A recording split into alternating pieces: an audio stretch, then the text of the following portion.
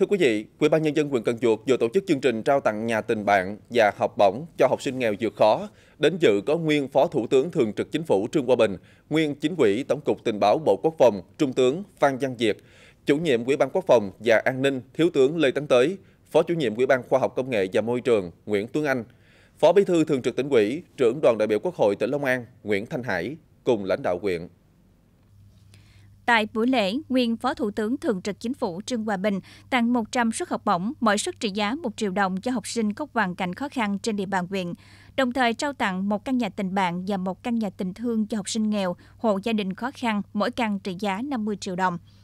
để tiếp tục chắp cánh ước mơ cho các em có hoàn cảnh đặc biệt khó khăn vào đại học. Bà Trương Ngọc Thủy, nguyên giám đốc Sở Văn hóa Thể thao Thành phố Hồ Chí Minh, Chủ tịch Hội đồng quản lý Quỹ Khoa Hòa Bình tặng 250 triệu đồng vào Quỹ khuyến học huyện. Gia đình ông Trương Hòa Bình và các mạnh thường quân tặng 850 triệu đồng cho Quỹ học bổng Nguyễn Thị Một.